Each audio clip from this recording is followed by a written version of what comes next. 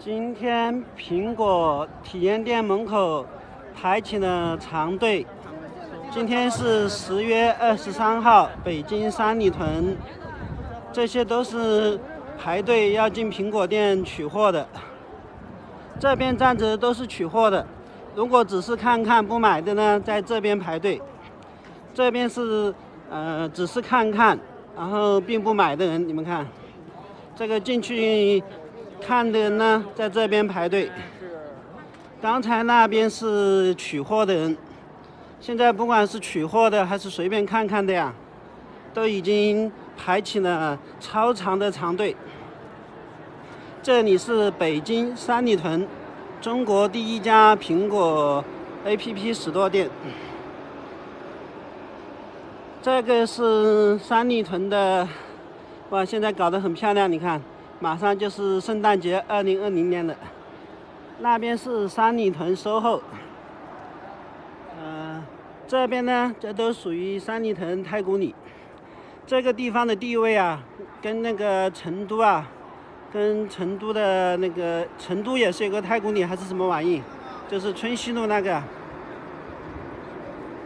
这就是苹果 iPhone 十，苹果 iPhone 十日上市，这个摆出的样机可以拿到真机的。这个我今天我就不打算进去了，因为人太多了。估计这个周末人都会特别多，然后苹果体验店门口，我我已经看到有黄牛党，他们这个有的有十几部苹果 iPhone 十，他们有现货，这个不知道这些黄牛党，哇，这个苹果好多年都没有这么排队的，现在又这么排队了，好吧，给大家看一下三里屯，三里屯长什么样子吧。顺便看看三里屯长什么样子。这就是北京三里屯，秋天到了。呃，现在北京呐，这个香山红叶红的，这个圆明园、颐和园，这个奥林匹克森林公园呐，这个秋天叶子都黄了，都很漂亮。北京进现在进入了最好的季节。不过呢。我去了很多地方之后啊，很多人都羡慕我，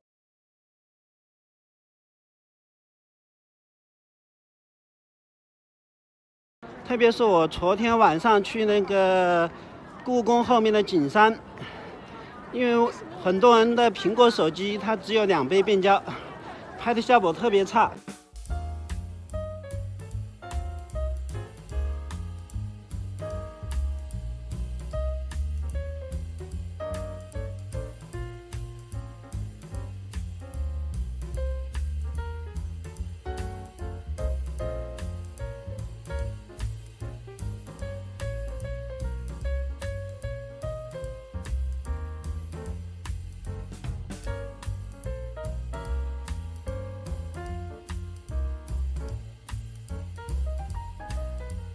当然，在视频摄像方面呢，因为我还没有试过，呃，我个人感觉的话，可能还是苹果要稍微好一点，呃，尤其是因为因为华为是曲面屏嘛，它在剪辑视频呢，这个呃，另外就是屏幕方面呢，这个呃，iPhone 十个 Pro 呢是全系列，从拍摄到剪辑都支持这个杜比世界，呃，它在这个视频方面的实力啊。